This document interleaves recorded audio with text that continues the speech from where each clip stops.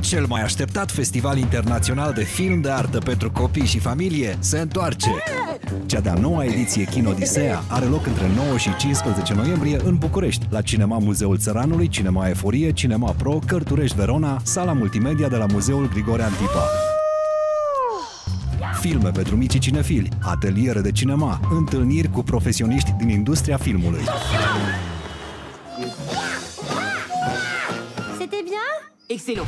Șapte zile cu cele mai bune și educative filme pentru copii și familie. Iar între 23 și 25 noiembrie, magia marelui ecran se mută la Tulcea. Detalii despre program și informații despre filme pe kinodisea.ro